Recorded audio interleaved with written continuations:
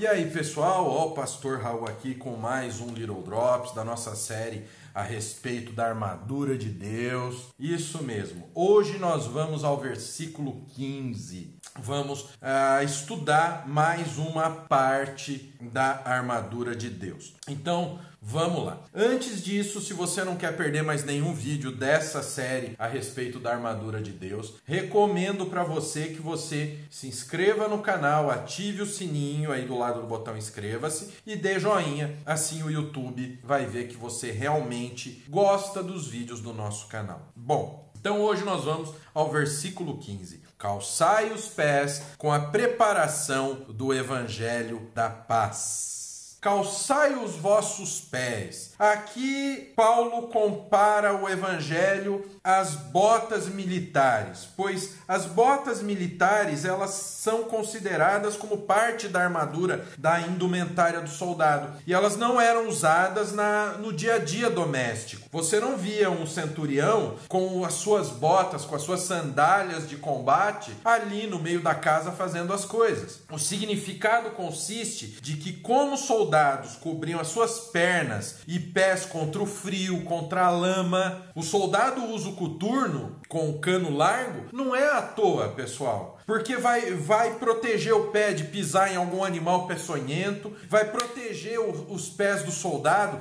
se ele for subir em algum lugar íngreme, espinho, pedra cortante. Ou seja, protege o soldado contra toda a intempérie que ele vai enfrentar no campo de batalha. Isso a gente vê como fica claro o porquê chamar o evangelho de bota. Ah, mas chamar o evangelho de bota? Sim! Primeiro, porque é a base. E segundo, porque o evangelho vai nos proteger das coisas desse mundo, de todas as intempéries. Vai nos proteger das tentações, vai nos proteger do pecado, vai nos proteger das setas inflamadas. Olha só, percebeu? Semana passada nós vimos couraça, o cinto. O cinto era a base, a couraça era para proteger o tórax, para proteger o coração. E o evangelho é a bota, poxa, mas o coração não é mais importante que o pé, que está sempre na sujeira, não. Os pés são a base de todas as coisas. Olha que coisa interessante. O evangelho é o nosso embaixador de reconciliação com Deus. E é somente ele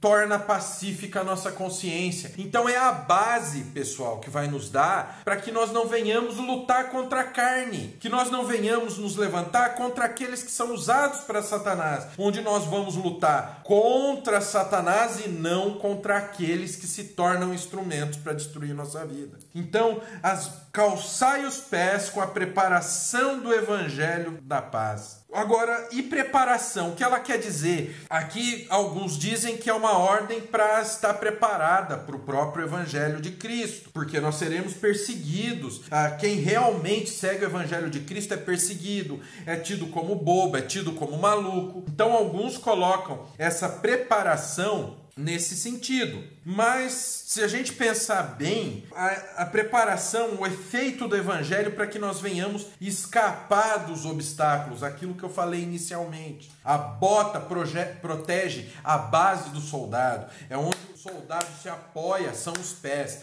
Então a bota, o que, que a bota faz? Ela protege os pés do soldado. Então é para preparação, para nos para que nós estejamos preparados para todas as intempéries, para que nós possamos permanecer de pé frente a todas as lutas. Bom, esse Little Drops foi curtinho, Graças a Deus, acho que eu estou chegando de novo na duração correta do Little Drops. É que esse, esse tema não tem como ter Little Drops muito curtos, então nós já entendemos o que? Por que a bota? Porque o Evangelho tem que ser a base. O Evangelho é o que vai nos blindar das coisas do mundo. Seguindo o Evangelho, seguindo a boa nova de Cristo, a gente vai estar tá se protegendo contra os ataques desse mundo. Então é isso aí. Semana que vem temos mais vídeos dessa série sobre Efésios 6. Espero que vocês estejam gostando. Não se esqueça de baixar o nosso e-book gratuito. Nós temos três e-books para você escolher. Você baixando o primeiro, de tempo em tempo, a gente vai mandando artigos a respeito da palavra de Deus, mais ensinos a respeito da palavra. Vocês vão receber ali, vão receber os outros dois e-books também no seu e-mail. Então, aqui tem um link, você clica, você vai encontrar o botão para baixar o nosso e-book que você vai receber bonitinho aí no seu e-mail. Que o Pai, o Filho e o Espírito Santo de Deus abençoe muito a vida de vocês. Até a próxima.